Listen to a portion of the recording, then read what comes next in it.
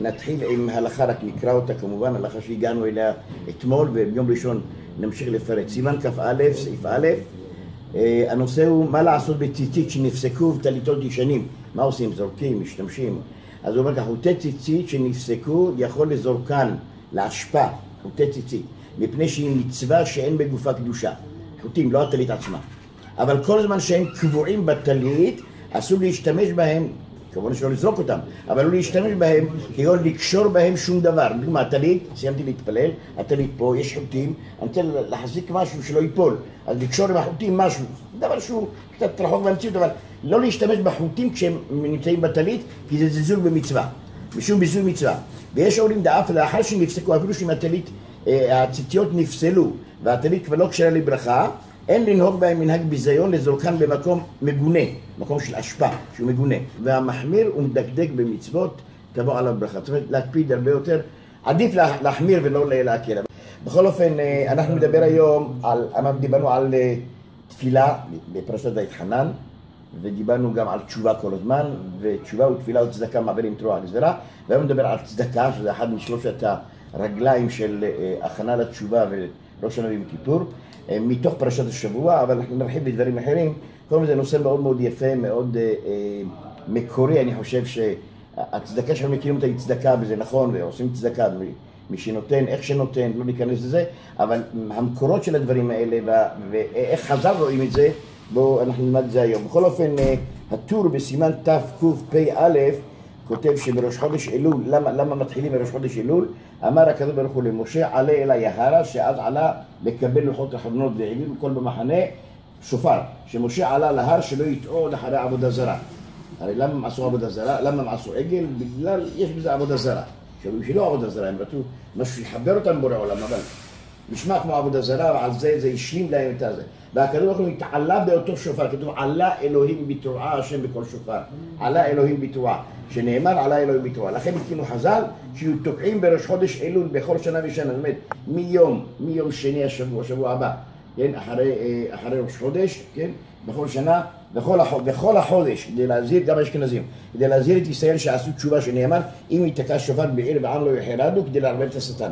לא, לא נדבר על המושג לערבב את השטן, כתוב שהוא זקן והוא חכם, איך אתה מבלבל אותו, שנה שעברה זוכר שבלבלת אותו, למה שהוא יתבלבל השנה, אבל נדבר מה זה לערבב את השטן.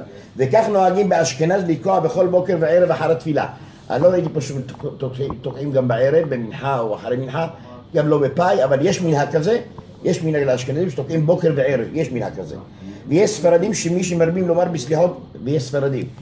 אה, ותחנונים מראש חודש אלו ואילך, מה שאנחנו מכירים שמיום שני ספרדים נוהגים לקום לסליחות, לפי הספרדים קמים בלילה, בשעה 12 בלילה עושים את זה שעה וחצי, שעתיים, התימנים, מה?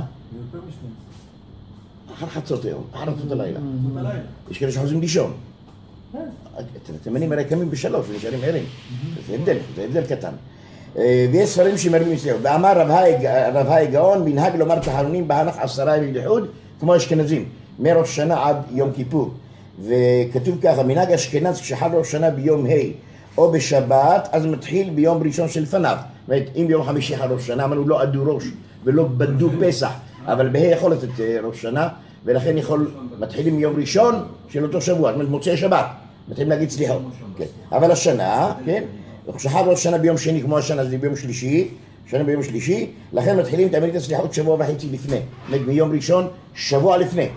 למה? כדי שלא יהיו, אז אי אפשר להתחיל להגיד סליחות אם יש פחות מארבעה ימים עד ראש שנה. ואם זה יום שלישי יש פחות מארבעה ימים. כן, לכן צריך ל- אה, לקום שבוע וחצי לפני. זה מסכנים האשכנזים, זה הכי קשה להם כל שנה. השנה זה כן. השנה זה זה פשוט, כן. זה שוד ושבר, שוד ושבר, זה הזדהות כמעט עם הספרדים. זה נקרא קיבוץ גלויות. אז השנה...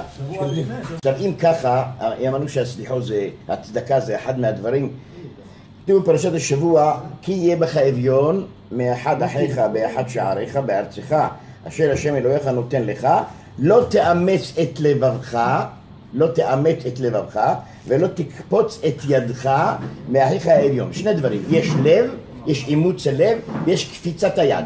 וזה הלכה, זה לאו, זה לאו. מי שעושה את זה עובר בלאו, לא תאמץ ולא תקפוץ. בסידורים של ימים נוראים, אצל הספרדים אומרים על חטא שחטאנו לפניך בקפיצת יד. החלק השני של הפסוק. האשכנזים אומרים על חטא שחטאנו לפניך באימוץ הלב. אז יש אימוץ לב לאשכנזים, קפיצת יד לספרדים, הפסוק מורכב משני הדברים. אז ברור שזה גם זה וגם זה. תכף נראה שכשיש שני דברים אצל שני גדולי העולם, ספרדים ואשכנזים, שניהם חשובים. זה אומר זה וזה אומר זה, אבל שניהם חשובים. אז זה על חטא שאומרים בסידור במחזור של ראש השנה. אז אומרים שיש, אומרים, אבל כבר דיברנו שמט"ו באב, מט"ו באב מתחילים הימים הנוראים, אמרנו מט"ו באב, בשתי ראיות הדבר כתוב, ועתה ישראל מה השם אלוהיך שואל מעמך, מתי זה שבוע שעבר קראנו, מה? זה 45, 45 יום לפני ראש השנה, תתחיל לשאול ולחפש את הקדוש ברוך הוא, מה? זה 45, רמז. בפרשת ניצבים זה הרבה יותר חותך, היה יותר חותך, כתוב אתם ניצבים היום כולכם ניצבים זה לעמוד לדין, מחוטב עציך עד שואב ממך. חוטב עציך זה ט"ו באב, למה? אמרנו אחת מהסיבות למה לא היו ימים טובים בישראל כט"ו באב, מכיוון שאז פסקו מלכרות עצים למערכה, נכון? למה? כי השמש כבר לא חמה כל כך ולא כורתים, זה, זה לא מתאים. ולכן למה הם שמחו? כי עכשיו יש לנו זמן ללמוד תורה.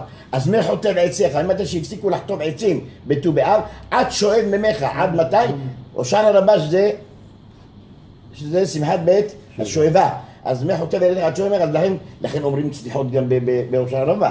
כן? כי זה עדיין ימים נוראים, כי האדם נמצא בספק, עדיין לא, לא נגזר סוף, סוף דינו. אז זה שתי ההוכחות שמט"ו באב מתחילים לפתוח מחזורים, מתחילים לעיין, להסתכל, מה כן, מה אומרים, מה לא אומרים, להתחיל לגוע בתשובה, להתחיל לחזור בתשובה מט"ו באב. אז זה דבר שהוא יפה שראיתי אותו. בכל אופן, יש חיבור על פי הפסוק בין יד ללב. היד והלב שניהם קשורים לצדקה. וצריך לדעת איך מחברים בין יד ללב. אנחנו מכירים שאדם רוצה לתת צדקה, והלב שלו מתחמם, הוא רואה עני וכואב לו, והוא רוצה לתת לו צדקה. אבל כשזה מגיע ליד הוא לא מכניס אותה לכיס. למה? כיוון שכנראה ביד יש איזה נקע או משהו, הלב באחד העורקים לא מעביר דם, ואז הוא לא יכול להכניס את היד לכיס, קשה לו. אז לפעמים אפילו הוא בוכה כשהוא רואה עני, אבל כשהוא מכניס, רוצה להכניס את היד לכיס, הוא לא מכניס אותה, הוא אומר עדיף שהעני יבכה ולא שאני אבכה. זה בסדר. אז זהו, אז יד, יד ולב זה שני דברים שהם קשורים אחד לשני, ואדם צריך לחבר בין שני הדברים. הלב צריך לגרום ליד כן להביא. פעם מישהו אמר שבעבר אנשים היו אה, אה, נותנים צדקה ביד ומנשקים ספר תורה בפה. היום נותנים צדקה בפה, לא מוציאים. אומרים אני נותן ומנשקים ספר תורה ביד. כבר לא, לא בפה. אז דברים השתנו, אבל, אבל לכן זה העניין ללמוד לפני מה זה צדקה ומה החשיבות של צדקה. בכל אופן לגבי צדקה כתוב במסכת בבא בתרא דף ח' כתוב מה זה, מה זה צדקה, איך עושים צדקה, קופה של תנור הבנה, ברייתא, קופה של צדקה נגבית בשניים בשניים, זאת אומרת לא, לא רק אחד הולך לגבות צדקה וגם בקופה של, פה לוקחים גבאי צדקה, לא, מתעס, לא מתעסק אחד, לא מתעסק אחד מהצדקה אלא שניים צריכים בקופת צדקה מכיוון שאחד בודק את השני. היום בכל מקום, בכל גוף ציבורי אין אדם אחד שחותם על צ'קים, שני אנשים, זה, זה עניין, עניין ברור, עניין ידוע ושמואל יכול לפרט לנו את זה בהזדמנות בהרצאה שלמה מה זה. אבל זה כתוב, מסכת גמרא בבא בתרא, בקופה של צדקה נגבית בשניים ומתחלקת בשלושה. מחלקים אותה שלושה אנשים. נגבית בשניים, למה זה בית דין? נגבית בשניים שאין עושים אין עושים סרנות על הציבור פחות משניים, מתחלקת בשלושה כדינים ממונות. עכשיו פירוש, הפירוש הרגיל מה שאמרנו, ששניים כדי שאחד יבקר את השני. פירוש עמוק יותר, צדקה צריכה להיות בשניים, צריכה להיות עם היד ועם הלב. זה אומר רש"ר הירש, בשניים הכוונה היא גם יד וגם לב. הלב צריך להתחמם והיד נותנת. זה נקרא צדקה ניתנת בשניים. לא רק לב ולא רק עין, ולא רק, זה, לא רק לב ולא רק יד, אלא שני הדברים ביחד. אומר אדמו"ר אה, אה, שמצוות הצדקה אסור שתהיה חציצה, כמו שאין חד, אסור שתהיה חציצה בטבילה במקווה, אסור שתהיה חציצה בין, ה, בין הלב ליד. הלב רוצה, אל תעשה חציצה. תן את זה על עסק לזרום ותיתן, תוציא, תוציא מהכיס, אסור שתהיה חציצה, זה דבר שהוא חשוב במדינת הצדקה. הרמב"ם אומר, בנוסף לנתינת הצדקה, הלכה ברמב"ם הלכות נתנות עניים, כל הנותן צדקה לעני בסבר פנים רעות ופניו כבושות בקרקע, אפילו נותן לו אלף זהובים, אלף זהובים, אלף דולר, אלף יורו, איבד זכותו, הפסידה. נתן את זה בעין, לא, בפנים לא טובות, בכעס, זרק לו אלף זהובים, זה לא, איבד זכותו, לא נותן צדקה. למה? אלא נותן לו בסבר פנים יפות ובשמחה, ומתאונן עמו על צרתו, זאת אומרת, מזדהה איתו, אמפתיה כלפי המצב שלו. זה צדקה אמיתית, שנאמר, אם לא בכיתי לקשי יום, אומר איוב, לא בכיתי לקשי יום, אני לא רק נותן לקשי יום, לאדם המסכן, אני גם בוכה איתו, אני מעודד אותו, אני מנחם אותו, זה, זה הצדקה האמיתית. אומרים בחז"ל, הרי כתוב שאם אדם, אם אדם איבד כסף ומצא אותו עני, קיים מצוות צדקה. לא נתן צדקה לעני, איבד אלף דולר, עבר עני, מצא אותו, לקח אותו, בשמיים רושמים לו, קיבל שכר של מצוות צדקה. פה אתה אומר נתן ולא נתן בהארת פנים, אבל הוא נתן. לא, הארת פנים. זה הבדל עצום מאוד. שם הוא לא, הוא לא, הוא לא, הוא לא נתן ברוע, ברוע לב. איבד, התייאש, התייאש בזכותו הוא קיבל. אבל אומר ספר העיקרים, איפה רואים את זה? בפרשת התשובה כתוב, נתון תיתן לו ולא ירע עינך בתכלות, כי בגלל הדבר הזה יברך השם אלוהיך. נתון תיתן לו, נתינה אפילו פעמיים, כן? ולא ירע לבבך, אל תיתן לו את זה ברעות, לא עין ולא לב, תן לו את זה בשמחה, כי בגלל הדבר הזה, לא בגלל הנתינה, בגלל המאור פנים, בגלל המאור פנים, בגלל השמחה שאתה נותן, יברך השם אלוהיך. זאת אומרת, אם אתה נותן לו במאור פנים, אין ברכת השם, זה לא צדקה, זה לא טוב.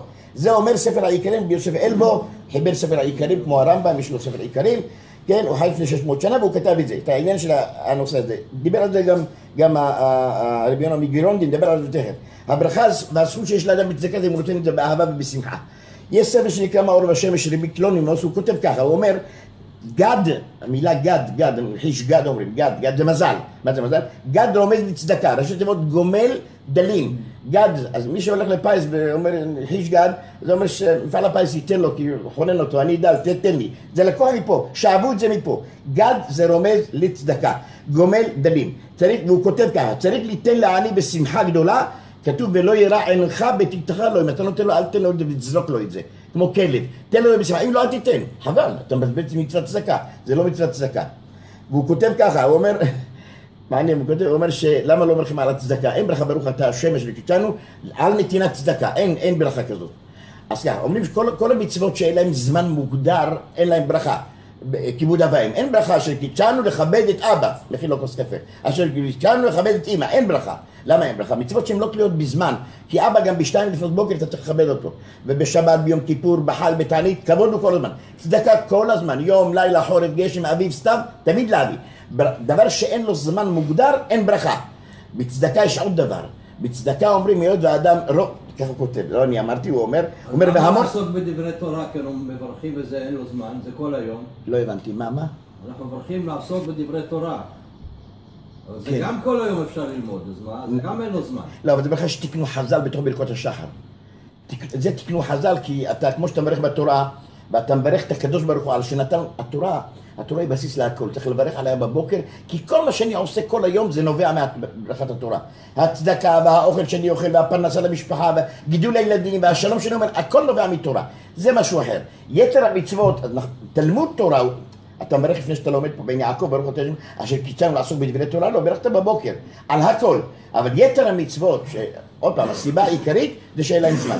אז הוא אומר ככה, למה לא מברכים על הצדקה סיבה נוספת? אומרים, מכיוון שרוב העם לא מביאים צדקה בשמחה, ולכן לא קיימו מצוות צדקה, ואם יברכו זה ברכה לבטלה. מאור השמש, והמון העם רובה דרובה אינם נותנים, לא אני אמרתי, הוא אומר את זה פרסת מיד, רובה דרובה אינם נותנים בשמחה. בינינו, עוברים פה אנשים, אנחנו נותנים להם, אבל צריך שתהיה גם שמחה, מה שמחה? אל תקפוט, תרקוד, הו-הו-הו, שמע על כל בחור עם זקן שמגיע לפה, אין ספק, אבל אל תיתן לו בתוך תוכה ואתה נותן לו את זה בכעס וב... והרובה דרובה אינם נותנים בשמחה, על כן אין מברכים על צדקה ויש חשש ברכה לבטלה. אל בגלל זה מצוות צדקה. בכל אופן, אה, רבנו יונה כותב שני דברים, הוא אומר, נתון תיתן לו, הוזהרנו בזה להרחיק מנ- מנפשנו צרות העין. כתוב, ולא ירע עינך בתתך לו. הרעת העין זה צרות העין, תכף נדבר מה זה צרות עין, דבר מחריד. בכל אופן הוא אומר, ולהיות טובה עין, להיות טובה עין, לא צרי עין. כי הנה שנאמר טוב עין, הוא יבורך. אם אתה לא טוב עין, אתה לא מקבל ברכה על הצדקה. אין ברכה בכל הבית. בכל דבר, לא רק בצדקה. גם אתה מחנך את הילדים ואתה לא, ואתה לא עושה להם את זה מתוך עין טובה, אלא מתוך צרות עין ומתוך כעס, לא קיימת מצוות גידול ילדים לתורה ומצוות. בכל דבר, עם האישה, עם המשפחה, עם השכנים. טוב עין הוא יבורך, שהאדם צריך לעשות הכל בשמחה, ומתוך טוב עין לא צרות עין. לא קנאה במה שיש לו, אלא שמחה במה שיש לך. צרות עין, זה צרות עין, אני מצמצם אותך, אתה לא קיים. זה צרות עין, עין זה מישהו, אתה רואה מישהו מולך, ואתה רק רואה את עצמך, אצלך זה החלק הרחב, ושם זה החלק הקצר, צרות עין. ולא די במתנת היד אשר נטע בנפשותינו מידת נדיבות, על כן הזהיר ואמר, ולא ירע לבבך. לא מספיק שאתה רוצה לתת, אתה צריך גם, זאת אומרת, כשאתה נותן בשמחה, צריך גם שהלב ירצה לתת, שתהיה שמחה בלב. אחר שאמר נתון תיתן. עכשיו ככה, כתוב, מעניין, רבי יונה מגירונדי, הוא אה, כתב את ספר שערי תשובה, ראית דבר יפה, הרי הוא התנגד לרמב"ם. הוא היה אחד מהמתנגדים הגדולים, גם רבו התנגד לרמב"ם בספרו קראת מור... מורה נבוכים, כן, אז זהו, זה מה שאני רוצה להגיד. כתוב שהוא כותב על הרמב"ם ככה, הרמב"ם כותב שם דברים פילוסופיים, והוא מסתמך, הוא מסתמך, הוא מביא דוגמאות מאריסטו, מה- מה- מהפילוסופיות של הגויים, והרמב"ם מייצב את זה להלכה, הם חכמים גדולים, חוכמה יש בהם, תורה אין בהם, אבל מהחוכמה שלהם. אז הוא אומר ככה, והתנגדו לו. אה, לא רק רבי יונה, כמה אנשים בתקופה, הרד"ק, לא, דווקא הרד"ק הסכים איתו. הוא כותב על הרמב"ם דבר כזה, הוא אומר ככה, אם גם אמת הדבר שהיה נזהר, הרמב"ם, בכל מצוות התורה, יכול להיות שהוא נזהר בכל מצוות התורה, הלא מצינו גדול ממנו, כן, יותר מהרמב"ם, ששימש 90 שנה בכהונה גדולה ולבסוף נעשה צדוקי. זאת אומרת, רבי יוחנן כהן גדול, יותר גדול מהרמב"ם. הוא היה 90 שנה כהן גדול, נעשה צדוקי. אז הוא לא כותב פה מהרמב"ם, אבל מדבריו מובן מה. כתוב שבעקבות ההתנגדות של יורם גרונדי לרמב"ם, שרפו הגויים הנוצרים את כל, את כל ספרי הרמב"ם ואת ספרי תורה שרפו, גם התלמוד, את התלמוד הם שרפו. וכשרבי יונון ראה את התוצאה הזאת, הוא אמר כנראה טעיתי. חזר בתשובה, במרכאות, ביחסו לרמב"ם, וכתב את ספר שערי תשובה. זה דעה, אה, אני לא אומר ש... דעה שראיתי, אבל זה מעניין. שרבי יונה הגדול שמדבר על שערי תשובה, הוא מבין מה זה תשובה. זאת אומרת, כנראה שהסתכלתי לא נכון לרמב"ם. זה לא שהוא אומר שהרמב"ם לא, לא איש הלך הגדול ואדם גדול, אבל הוא אומר בחלקים האלה של מורה נבוכים ושל זה, יש פה בעיה קשה מאוד והוא לא קיבל את ספריו. בכל אופן ככה הוא אומר, נתינה צריכה להיות מטוב טוב לב ועין טובה. מסך, עכשיו, על מעשה אני מתחיל עכשיו מפה את הנושא של מה זה טוב עין, מה זה, מה זה עין טובה, ומה זה לב טוב, ומה זה עין רע, ומה זה לב רע. מסכת אבות יש משנה ידועה עם חמישה תלמידים שהיו לו רבן יוחנן בן זכאי, חמישה תלמידים, ואלו הם, כן, ואמר להם יוחנן בן זכאי, צאו וראו איזוהי דרך טובה, ישרה שידבק בה האדם. איזה דרך שאדם לוקח אותה כמוטו, לא, לא. כחזון, מה? שיעבור לו אדם. לא, לא, לא, תכף נגיע, תכף ותפארת נגיע. האדם. כן, שידבק באדם, שיעבור, תכף נראה. שידבק באדם, ציטוט ממסכת אבות, כן? פרק ב'. רבי אליעזר אומר עין טובה. אני מדבר עכשיו על הראשון ועל האחרון, עין טובה. אה, רבי יהושע אומר חבר טוב, רבי יהושע אומר שכן טוב, רבי שמעון אומר הרואה הנולד, רבי אלעזר אומר לב טוב. זאת אומרת, הראשון דיבר על עין טובה, השני דיבר על לב טוב. רבי אליעזר מוגדר כבור סוט שאינו מאבד טיפה. הוא מדבר מה? על עין טובה. עין טובה יבורך. תכף נראה מה הקשר. הוא היה נקרא סיני. סיני זה אומר שיש בו כל מה שנאמר בסיני. הוא לא שכח כלום מרבותיו. הוא נקרא סיני. זה דרגה בלימוד, זה סגנון של לימוד. יש סגנון אחר באלעזר בן ערך שהוא אמר לב טוב, הוא מעיין ומתגבר. הוא שומע משהו ועושה מעצמו עוד עשרה דברים, כי הוא, הוא נובע כל הזמן. והוא הוא נקרא עוקר הרים וטוחנם זה בזה, זה ההגדרה. אדם שיודע לפלפל בדברי תורה, לקחת גמרות ולעשות מהם מישמש, ולעשות מהם- זה נקרא עוקר הרים וטוחנם. רבי אליעזר הוא היה, הוא הוא היה סיני, הוא היה, מה שנאמר בסיני זה אני יודע. אלה השניים, אחד אומר עין טוב, אחד אומר לב טוב, מפה נראה איך הצדקה מתחברת לזה וזה מדהים, אני חושב שהבאתי את זה כי זה דבר שיש בו המון ערך. אז בואו נראה, עכשיו הפוך, גם אמר להם איזה דרך טוב, רעה שהתרחק מן האדם, אז הוא אמר אה, אה, לב רע ועין רע, הפוך. עכשיו כדי להבין את הדברים, כן, שואלים, באותו פרק ב' רבי, רבי יהודה הנשיא, עורך המשנה כתב משהו, מה הוא כתב? הוא כתב, רבי, רבי אומר, בהתחלה, רבי אומר, איזוהי דרך ישר שיעבור לו האדם. מיכאל? רבי אומר שיעבור לו. אז מה רבי רבי חנן בן זכאי שואל אחר כך תלמידיו, איזה דרך שידבק באדם? כבר רבי דיבר על זה, מה העניין? למה אתה חוזר על זה עוד פעם? למה אתה מעלה את זה לדיון? זה כבר היה בכנסת, רבי כתב את זה כבר, בפרק הראשון, מה זה, רבי היה אחריו בחמישה דורות, שישה דורות, אבל רבי עורך המשנה, אז כאילו, ריבז יודע שהחז"ל דיברו כבר על מה שרבי אומר, למה אתה חוזר על זה? אומרים ש... אה, אה, רבי- כך אומר הרב פג'ו, הרב פג'ו זה רב שיש לו ספר בינה, בינה לעיתים באיטליה הוא היה, כתב דברים יפים מאוד, הוא כותב שרבי יהודה הנשיא מדבר על ההתעלות האישית של האדם. זה רבי יהודה הנשיא אומר איזה דרך שיעבור לא האדם, לעצמו, דרך אישית. איך אני צריך להתנהג עם עצמי, כן? אבל רבנו חמד זכאי אומר איזו דרך טובה שידבק צאו וראו איזה דרך טובה שידבק באדם? זה אומר מה איזה דרך? שהאדם עם זולתו. אז זה שני דברים. מה אני צריך לבחור לי ומה איך אני צריך להתייחס לאנשים אחרים. אז חנן זכאי דיבר על ההתייחסות של האדם כלפי הזולת ורבי דיבר על התייחסות האדם כלפי עצמו. זה שני דברים נפרדים ואנחנו מדברים על איך האדם נותן צדקה זה לזולת. אז זה שני דברים והוא אומר זה בסדר אין סתירה ורבנו יוחנן זכאי מוסיף מוסיף דברים. אז הוא אומר ככה, הוא אומר, שני תלמידים, אחד אומר עין טוב ואחד אומר לב טוב. אז כנראה שזה שני מושגים שונים. כי אם רבנו חמד זכאי הסכים איתם וקיבל, נתן להם ציונים, זה אומר שמה, שלב טוב זה משהו, עין טובה זה משהו. זה לא אותו דבר.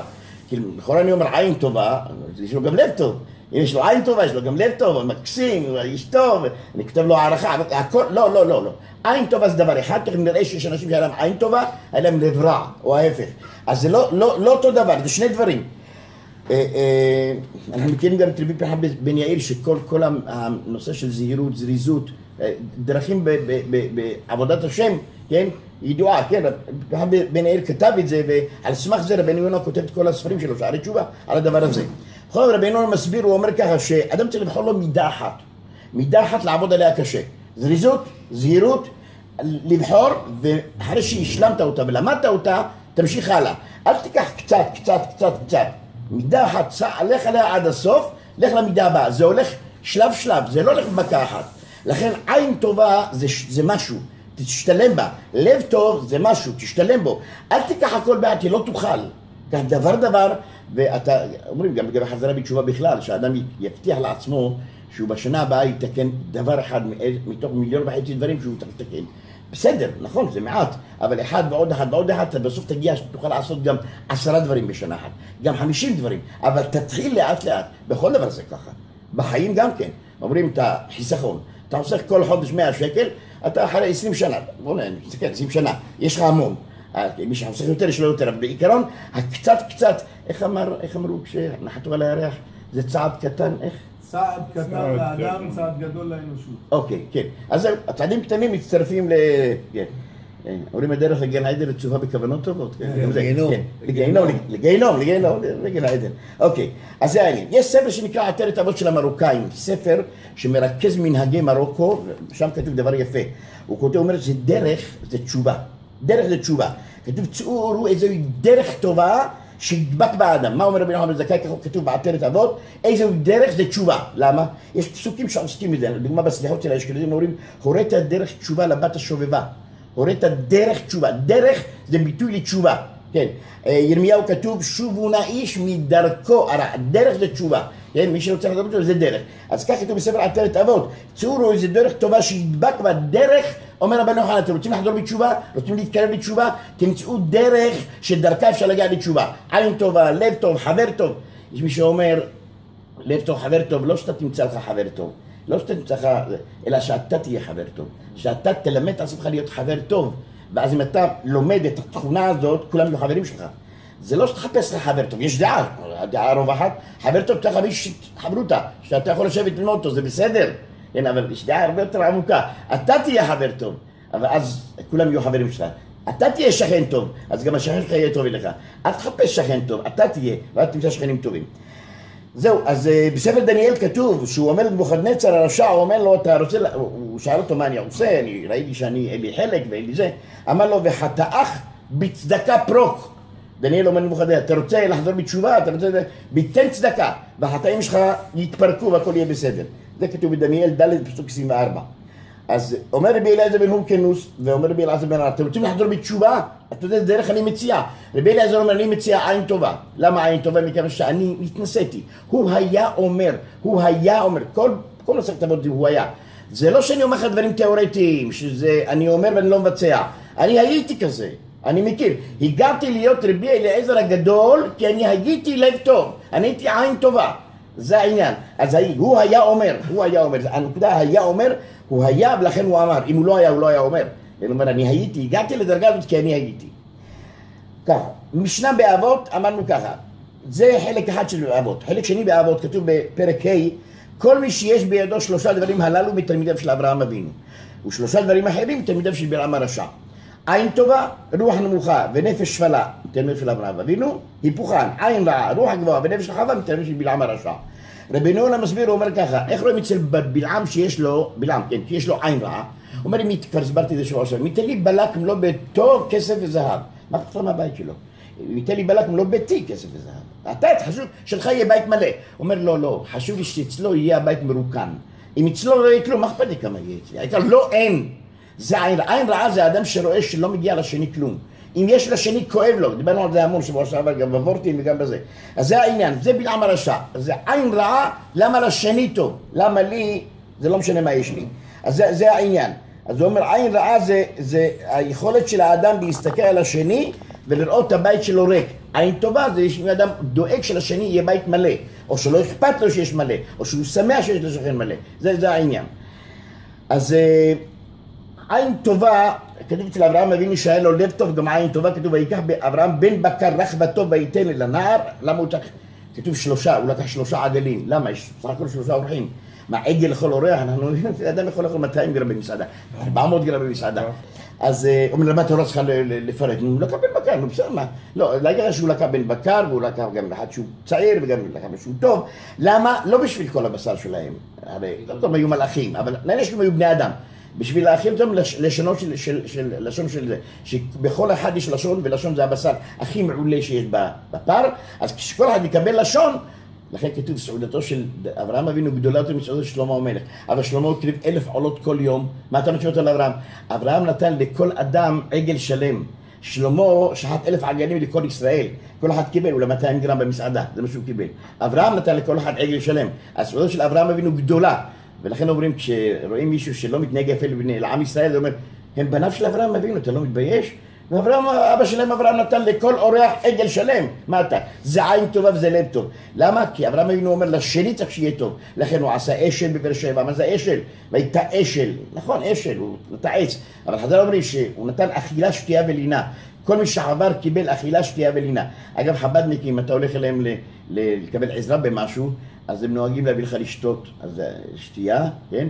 אה, עוגיה זה אכילה, כן? אכילה, שתייה ולינה, בכל לינה הוא מלווה אותך, מלווה אותך, עושה לך ליווי.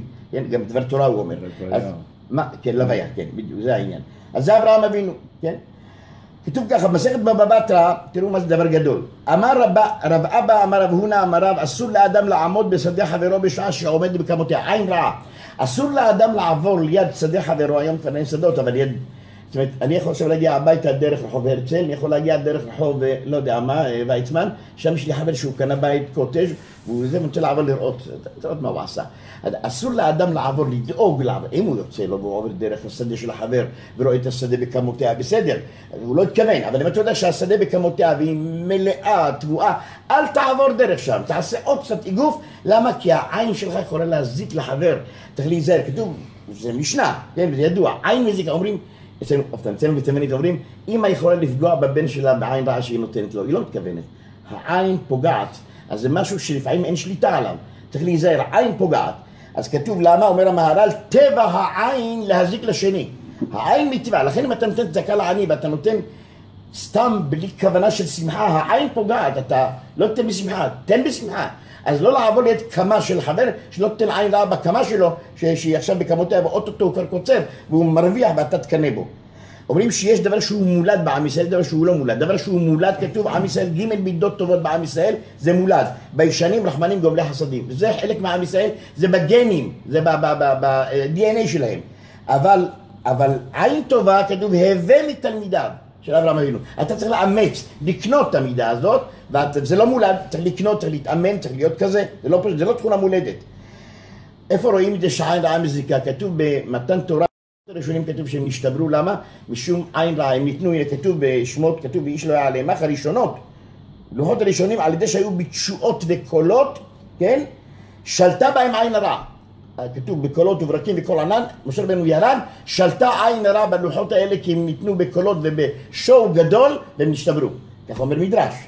אבל השם אומר למשה, עלה אל היערה בשקט, אל תספר לאף אחד. שלא כתוב בעיתונים, שלא יהיה שום דבר, שקט, לא בלי פרסום. תעלה בשקט, למה? דבר שאדם לא רואה, לא שולט בו עין הרע.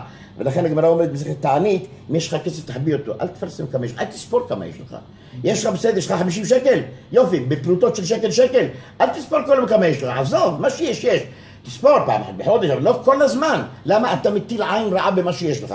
תענית, מסכת תענית, הנכנס למוד את גורנו אומר יהי רצון, מלפניך השם אלוקינו שתשלח ברכה במעשה ידינו. התחיל לא- אה, לומר, אה, אה, אומר ברוך השולח ברכה בקרי הזה, מדד ואחר כך ברך, ב- מדד ואחר כך ברך הרדת תפילת שווא, למה? כפי שאין הברכה מצויה לא בדבר השקול, לא בדבר המדוד, לא דב- בדבר המנוי, אלא בדבר הסמוי מהעין. למה? כי עין דרכה להזיק, טבע עין להזיק לשני. מה? הברכה הברכה, כן, בדבר כן, הסמוי בדיוק. מן העין. יש גאון דו חי, אומר המתיהו סלומון, בניו ג'רסי בארצות הברית, הוא היה משגיח שם, הוא כותב מה המחלוקת בין רבי אליעזר לרבי אלעזר. למה זה לב טוב, למה זה עין טובה, מה ההבדל ביניהם?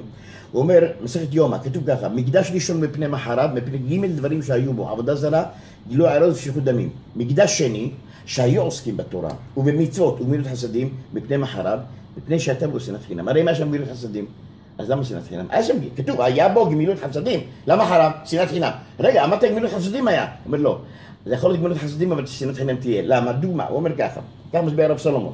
הוא אומר, יש אדם שמקים ארגון חסד, כי רוצה לעזור לאנשים, צדקה, חסד של כיסאות, שולחנות, עגלות, כסף, הכל. מישהו שכן שלו אומר, רגע, לא הולך לו טוב, יש לו תור שם. אנחנו גם כן נקים קרן גמ"ח שיש לה עומס שם, נקל מעליו. מה, רק הוא יתפרסם? גם הוא רוצה להתפרסם. אז הוא עושה חסד, האיש השני. מקים ארגון צדקה ונותן והכל, ההוא נותן אלף דולר, נותן אלף חמש מאות דולר. הוא נותן עשרה כיסאות, הוא נותן עשרים. למה? לא בגלל שהוא רוצה, ש... בגלל שההוא נותן, אני נותן יותר. אז הוא גומל חסד, זה אין ספק, הוא נותן. אבל מה הבסיס? עין רעה. צרות עין, למה לא יש? אני רוצה שלי יהיה יותר ממנו. שאני מפורסם, שאותי יכתבו בגדול לפניו בעיתון, איש החסד, הנדבן הגדול. אז היה גמילות חסדים בבית שני, אבל זה לא בא מתוך גמילות חסד אמיתית, זה בא מתוך עין, מתוך עין רע, מתוך צרות עין. אז זה, ככה אומר רב סלומון. לכן הוא אומר, היה בהם תורה מצוות, גם תורה אותו דבר. תורה הם שלטו בתורה לכל כיוון. אבל הסיפור ידוע עם אותו, אותם שני כהנים צעירים שרצו לנקות את הדשן מעל המזבח ואחד השיג את השני והוא לא מצא חן בעיניו ודקר אותו בסכין ואז הוא הפיל אותו כדי שהוא יהיה ראשון בא אביו של התינוק הנדקר שהוא היה תלמיד חכם מופלג, כהן גדול, כן? ואמר, ועדיין בני חי אז הסכין לא צריכה הכשרה, הסכין לא טמאה זה הבעיה שלו, זה הסכין. כי אני יודע, דין תורה, הגמרא אומר במסכת כיסאות התורה, והרב אומר ככה וזה, אז אני חושב שזה, אבל הבן שלך עומד למות, טפל בו. טוב, קודם כל הלכה, היה בהם תורה, אבל שנאת חינם הייתה בהם יותר.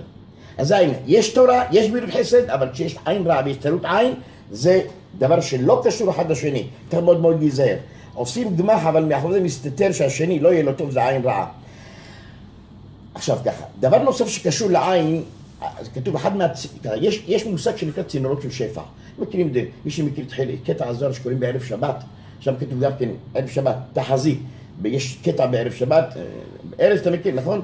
בערב שבת, בוקר מחל שבת, מי שנוהג להגיד את זה, עם הזוהר, עוסקים בצינורות שפע שבאים, יורדים מלמעלה למטה. יש מושג שנקרא צינורות של שפע. בספר נועם אלימלך של הרב אלימלך חבר'ה, אה, כן, נועם אלימלך, עכשיו בן זושה מנפולי, הוא אומר ככה, ונראה, מה? זו שם ניקו. אה, בסדר. ונראה שהשם יתברך, ונראה שהשם יתברך כשברא את העולם השפיע מטובו צינורות מוש- מושכים שפע לצורכי בני אדם, זאת אומרת אם נדמיין לעצמנו את העולם הזה כמקור שצריך לקבל ברכות אז יש צינורות שמובילים את הברכה אה, בריאות, פרנסה, לימוד תורה והכל והכל זה צינורות של שפע עכשיו ככה אם תתנהגו, כך אומר הרב אלימלך מדיבי, אה, אם תתנהגו ותבטחו בהשם בכל לבבכם ואז תלך השפע בלי הפסק כלל, לא יחסר בה, כל הזמן זה יהיה זורם. לא יהיה בעיה באינסטלציה, לא צריך להזמין אינסטלטור, הכל יעבוד כמו שצריך, אם תתנהגו כמו שצריך ותלכו עם הלב ועם העין, הכל יזרום. אם לא יהיה פקק בצינור והשיבר ייסגר. תיזהרו, זה צינורות. זה כמו שמים נסגרים כשאתה לא משלם את החשמל ומים, אז זה נסגר, גם פה אותו דבר. על פי הזאת צריך להקפיד, אגב בתפילה, אם אדם מבלבל ואומר שירת הים אה, לפני, ברוך שאמר, אה, ואומר שיר של יום לפני תפילת העמידה, ואומר קריאת שמע אחרי עלינו ומשבח, הוא מבלבל את צינורות השפע. צריך שיהיה סדר בתפילה, כך כתוב בזוהר, יש להקפיד מאוד על שמירת סדר התפילה שרמוזים בו סודות גדולים. אתה איתנו בנימין? וכל המשנה את סדרם מהפך צינורות השפע הבאים על ידי התפילה. ולכן גם המאחר לא ידלג על שום קטע מן הקורבנות ופסוקי זמרה. ואם באת ופספסת יש בהלכה כתוב מה אדם עושה כדי להספיק להגיע וזה לא בלבול צינורות שפע להגיד ברוך שאמר מזמור לתודה ואחד מההללויות כן? ואז ישיר או ברוך שאמר או ש- אה, אה, וברך דוד, להגיד חלק מהם ולהיות עם הציבור לפחות במודים אנחנו לך בקדושה, כן, ואז תפילה בציבור. ואז זה לא מבלבל את הצינורות, כי מה הדברים העיקריים? תפילת העמידה. מה הדברים העיקריים? מודים אנחנו לך עם הציבור. מה הדברים העיקריים? קדושה בציבור. זה התפילה, שלא יבלבל צינורות התפילה. אז פסוקי זמרה זה לא חלק מהתפילה, זה תוספת התפילה, זה מאחורי התפילה ולפני התפילה. אבל התפילה עצמה אתה צריך להגיד את ההכנות לתפילה ואחרי התפילה. אל תבלבל, אל, אל תעשה דברים כי זה מבלבל צינורות שפע. כתוב מסכת ברכות בת קול יוצאת מהר חולה ועומד כל העולם כולו ניזון בשביל אני בכוונה צועק, בשביל חנינא בני. וחנינא בני דיו בקו חרובים מערב שבת לערב שבת. כותב השלה הקדוש, שביל זה דרך. כבר אמרנו קודם שבכתבי ספרי מרוקו כתוב שדרך זה תשובה. אז, אז אה, אה, השלה הקדוש אומר, שביל זה דרך, למה? כל העולם ניזון בשביל חנינא בני. אז יש צינורות של שפע ויש צינור של רבי חנינא, שביל של רבי חנינא, זה צינור שלו. הצינור שלו דואג לנקות את כל הצינורות של כל העולם ובזכותו השפע יורד וכל הסצינות נפ... אה, הולכות ל- נפתחות. אז זה בשביל חנינא בני. השביל שלו גורם לפתיחת כל הצינורות, כך אומר השלה הקדוש. כל העולם מקבל את השפע דרך השביל והצינור של רבי חנינא בני, זה הכוונה בשביל חנינא בני. אה, הרי בחנינא בני די לו במה? בכמה חרובים. אז רבי חנינא זכה לעשות צינור גדול מאוד, כמה צולים גדולים מאוד, הוא לא צריך את הכל, הוא צריך פר חרובים. אבל זה כדי שהעולם יקבל. זה בשביל חנינא בני. אגב, כל אחד מגדולי הדור, בכל דור ודור, הם אלה שעושים שבילים לצינורות השפע. זה ברור. חנינא זה דוגמה. הוא היה אדם גדול, חנינא בני. זה לא פשוט. מסכת ברכות כתוב כל הנהנה מן העולם הזה בלא ברכה כאילו גוזל לקדוש ברוך הוא כנסת ישראל. מי שאוכל בלי ברכה גוזל. למה?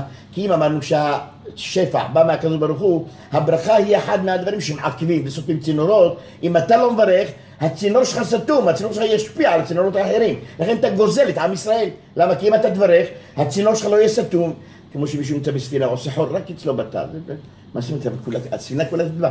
לא, אצלי עשיתי, מה זה אצלך? מי אתה שעשת אצלך? אתה הרסת לכולם את הזה. גם כן אותו דבר. הברכה של כל אדם ואדם, כל יהודי ויהודי, אם הוא לא מברך, הוא עושה סתימות בצינור.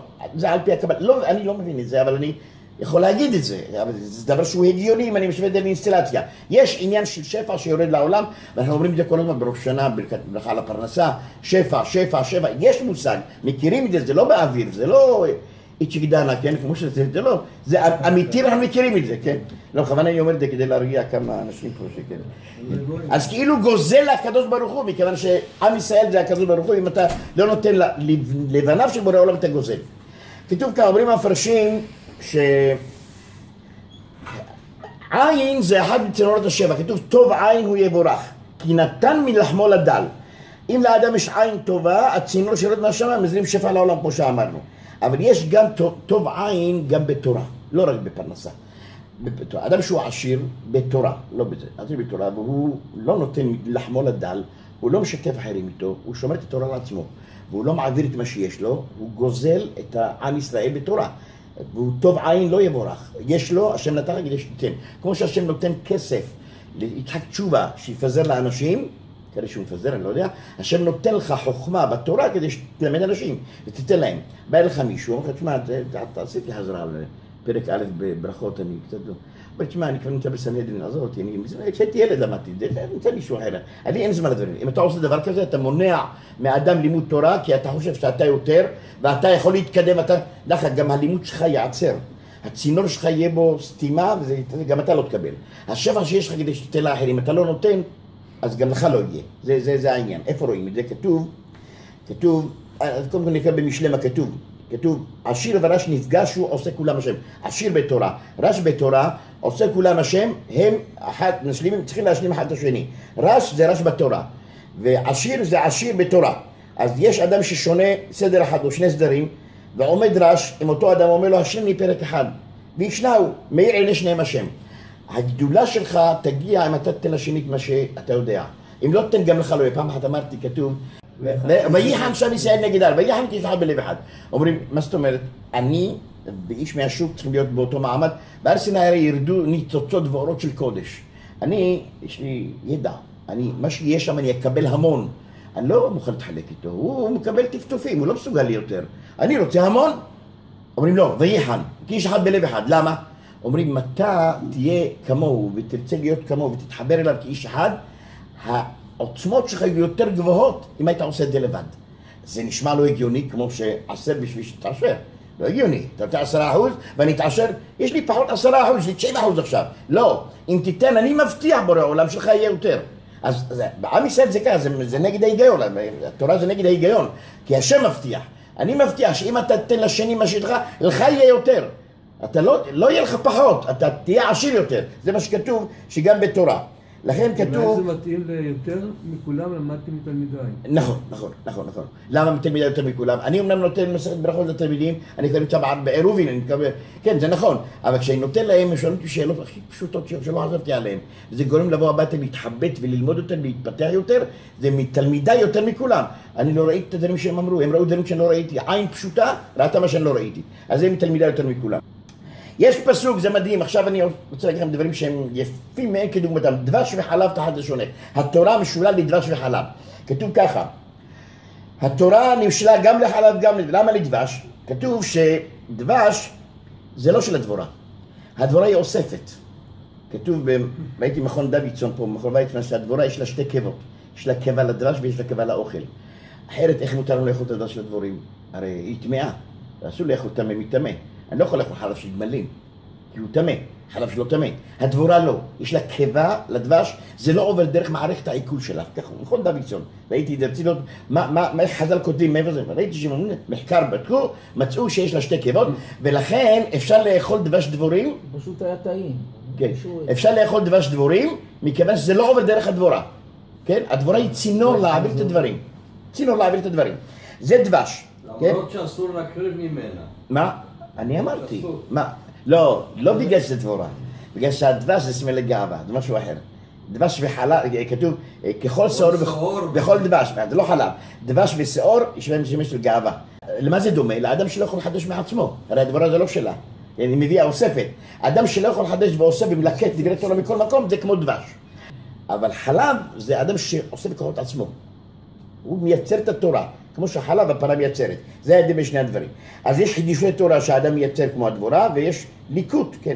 אז אומרים ככה, מי שמלקט, אגב, כמו שאמרת, דבש יותר טעים, זה נכון.